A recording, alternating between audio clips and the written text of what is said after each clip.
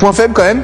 On m'a dit, parce que bah je suis pas avec toi au quotidien, on m'a dit que si Uber Eats cessait d'exister, tu ne survivrais pas. C'est vrai que matin, midi, soir, je commande du Eats. Ah ouais. Le matin, c'est pain au chocolat. Genre là, si je te demande-.